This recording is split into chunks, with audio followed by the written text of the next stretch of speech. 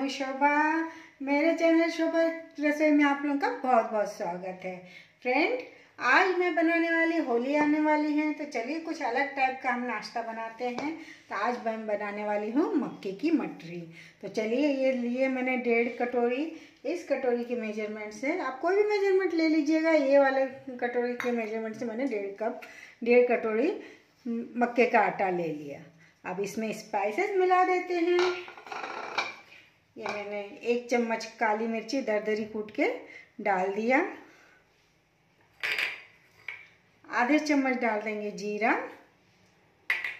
और आधे कटोरी हम डाल देंगे तिल। दो पिंच डाल देंगे हम हींग। आधा चम्मच हम डाल देंगे अजवाइन। नमक स्वाद अनुसार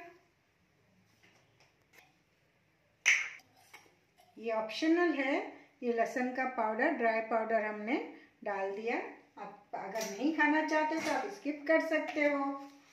एक चम्मच डाल देंगे हम लाल मिर्च पाउडर आप अगर तीखा कम खाते हैं तो लाल मिर्च ना डालें। थोड़ी सी डालेंगे हल्दी। थोड़ा डालेंगे हम धनिया पाउडर डाल देंगे दो बड़े चम्मच तेल। अब इसे मिक्स कर लेंगे। अब इसको हल्का गुनगुना पानी से हम इसे गूंथ लेंगे, एक सॉफ्ट डो तैयार कर लेंगे। ये देखिए, हमने एक सॉफ्ट डो तैयार कर लिए हैं। इसको अब पंद्रह मिनट के लिए हम रेस्ट करने रख देंगे। आटा भी हमारा सेट हो चुका है पंद्रह मिनट हमने इसको रेस्ट होने के लिए रख दिया था। अब इसकी लोई बना लेंगे हम छोटी छोटी इतनी छोटी छोटी हम लोई बना लेंगे।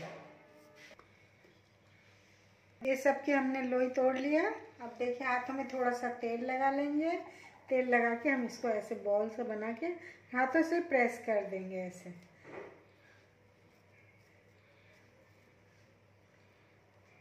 देखिए, इस तरह से हमने सारे बना लेने हैं।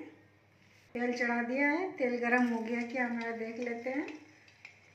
तेल हमारा गरम हो गया है। अब इसमें हम ये मठरियाँ डाल देंगे। हमारे मटरी गोल्डन ब्राउन हो गए इसे हम निकाल लेंगे अब। ऐसे हम बाकी के तल लेंगे। मैंने इस इस बार थोड़ा सा इसको बीच में से थोड़ा सा कट कर दिया, जिससे बहुत ही ज़्यादा कुरकुरे बनेंगे और अच्छे टेस्टी भी लगेंगे। देखिए, हमारी बहुत ही स्वादिष्ट, टेस्टी सी और हेल्दी मठरी बन के तैयार हो गया। बनाने में जितना आसान है खाने में तो कहने क्या है। तो मेरी ये रेसिपी ज़रूर ट्राई कीजिएगा। अच्छी लगे तो लाइक कीजिए, ज़्यादा से ज़्यादा शेयर कीजिए और फीडबैक में कमेंट करना ना भूलें ताकि मैं अपने, आपके कमेंट मेरे